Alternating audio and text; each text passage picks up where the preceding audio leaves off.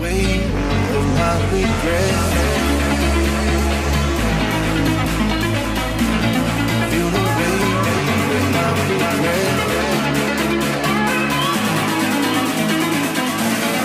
In this sinkhole, all alone.